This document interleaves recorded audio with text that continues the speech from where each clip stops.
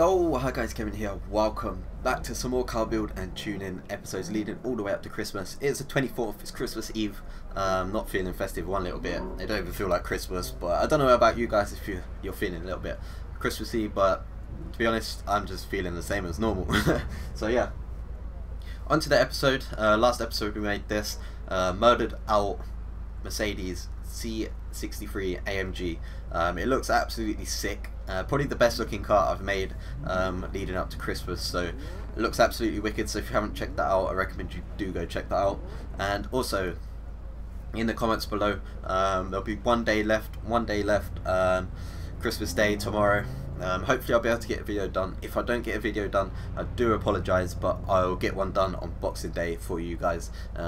So just see it as kind of number 25, but I'll, I'll try and get it done, but everyone knows uh, that you're obviously busy on Christmas Day, but I, I can try. Um, so yeah, that is the car, and one left, so I need comments below uh, what car you want to see next episode. Um, it's the last one, so make it a good one. Um, if you see a car that you like the look of, um, give it a thumbs up, and the one with most thumbs up will get chosen. So the most thumbs up comment from last episode was a Ford Shelby GT500. Put 750 horsepower in it, and a Falcon paint on it as well. So quite specific. Not much I can do myself here, uh, which kind of sucks, but you know, let's do it, let's do it. Okay, so here's the car, Ford Shelby GT500. Um, I, oh, I always press that button. I don't know what it is about that button. Like, it doesn't even do anything. It just goes, just goes into paint. But I never mean to press it. It just like sort of happens. Like my finger just presses it. I, I just don't mean to press it. But yeah. let's try and see if there's a Falcon paint in this. No. Okay, so we're gonna have to search for that. Uh, but yeah, let's see what it's running. 662 horsepower as standard. So very very powerful but then it is a very heavy car 1700 kilograms in there um, so let's choose that and hopefully we can search for a paint. Um, if I just search uh, Falcon uh, it should come up. But let me just put drift and it should come up in drift to be fair. Um, Falcon is a very known drift paint so I'd have thought it would come up. There's a lot of monster but was that one? There we go. It's not really oh that's terrible looking. That looks terrible. I think we might have to go with it. Nope. Let's go with that. There we go. That looks a little bit a little bit better. So let's go with that. I don't like the colour of the rims, but YOLO. and yeah, let's jump into the upgrades when this finally saves. Um, this car look it's going to be interesting. It's got a very long wheelbase. It looks pretty heavy. Uh, I don't know what it gets down to with like weight reduction, etc. Uh, but hopefully it gets a little bit lighter. Uh, but yeah, it's a muscle car. Muscle cars drift pretty well. Um, so we can see how this goes. Um, let's jump into garage now. Hey, Upgrades and custom upgrade. Let's fix her up. Okay, so engine I'm sticking stock. Uh, drivetrain, oh you can only have stock engine anyway. Uh, drivetrain will stick rear wheel drive. Um, aspiration, uh, no. Let's just stick with a twin screw uh, supercharger as stock. Okay, body kits, I don't think there's going to be that many. Let's not do the Forza one. Uh, that wing is pretty nice, but let's not do that. Um, and onto the bonnet. Let's not do any of those either. Okay, pretty simple. okay, so stock tires. I'm sticking with stock tires.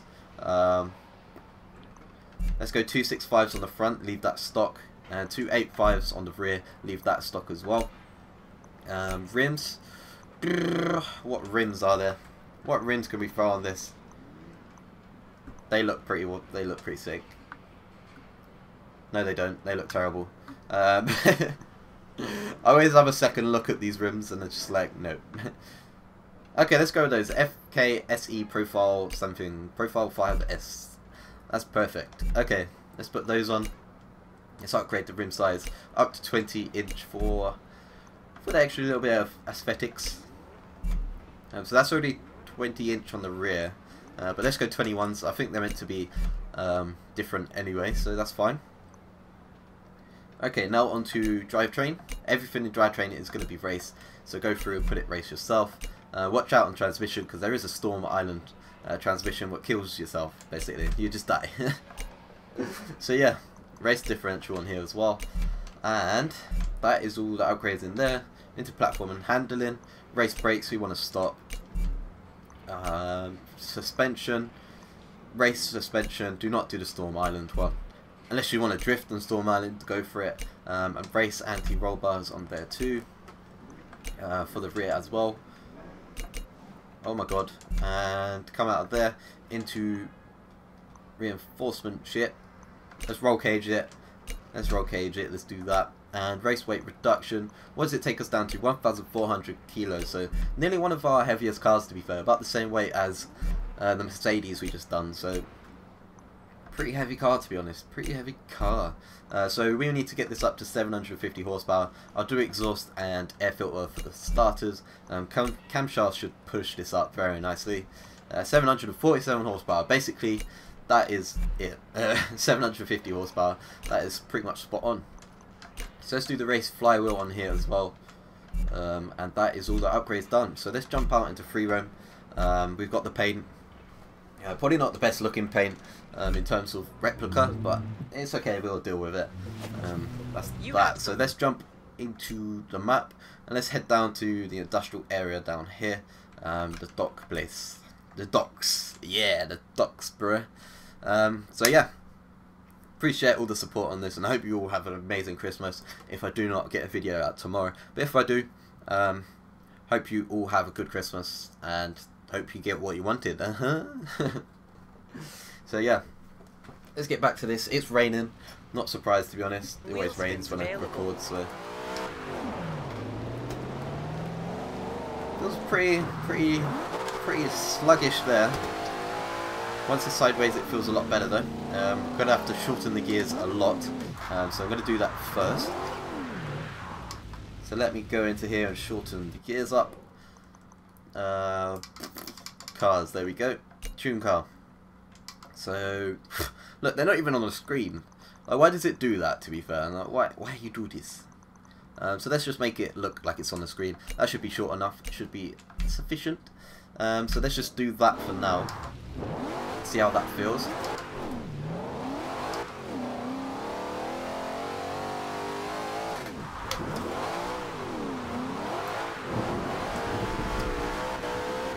Seeing as it is a Mustang, uh, it's got a little, long wheelbase, um, so I'm not surprised it's drifting, drifting well.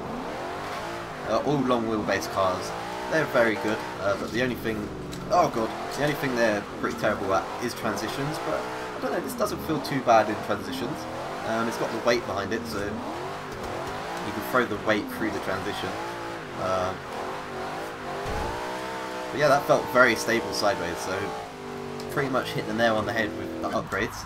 Um, in terms of the tune, I don't think there's going to be um, big changes to this, because that felt, as I said, pretty nice, so let's jump into tune, uh, tune car and just put a very, very base tune onto this. Um, we can up the camber in the rear uh, just a tiny bit. We don't really need to, to be honest, um, seeing as it felt pretty good. Um, still we go 5.5. Anti-roll bars bring up the rear a tiny smidge. Springs, pretty, mm, it's not as stiff as I would like it, so I'm going to go a little bit stiffer. Um, I like my cars pretty stiff, so let's do that. Why is it taking so long? Scroll up quicker. Thank you. Thank you for listening. Anyway, ride height all the way to the bottom. Damping, pretty stiff already. Uh, bump stiffness can come down a tiny smidge.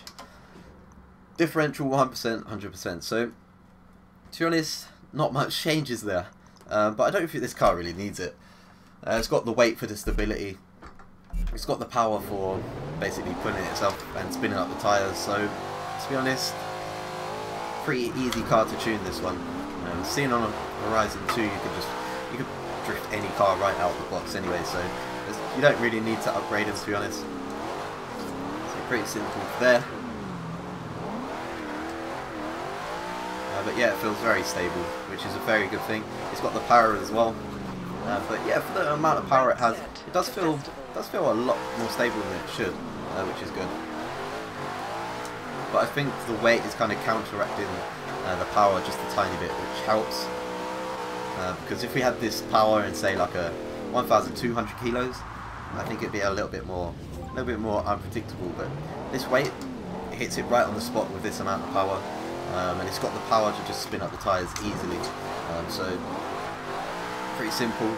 Even in the rain, it feels very good sideways, um, which is normally one thing I normally struggle with actually. Um, in the rain, uh, the cars are normally a bit looser, but this just feels absolutely spot on in the rain. Just as I say that, I'll probably spin out, but you know. There we go. ah, saved it. No one saw me just like mess up there. It's fine.